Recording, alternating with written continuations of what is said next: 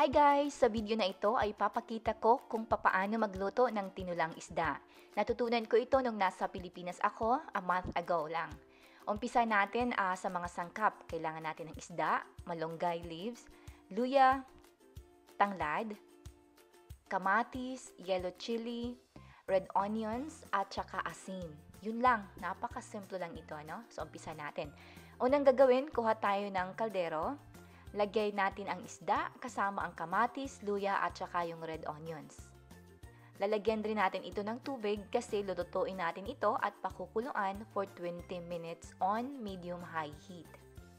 After 20 minutes, ilagay natin ang tanglad at malunggay. Lutuin natin ang malunggay for another 5 minutes.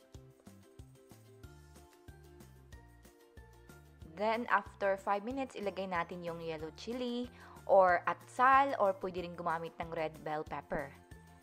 After 2 minutes, kinuha ko yung dalawang kalahati ng yellow chili, ano? Tapos, timplahan natin ng asin. So, at this point, pwede nyong i-adjust ang lasa nito. And then, takpan nyo ito for another 2 minutes, then turn off the heat, and you're done. Yun lang, napakasimpleng mga sangkap pero masarap. Alright, thank you so much for watching.